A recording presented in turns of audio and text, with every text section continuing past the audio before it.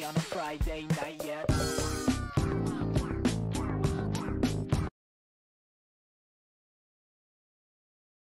Three, two, one, go! Having the opportunity to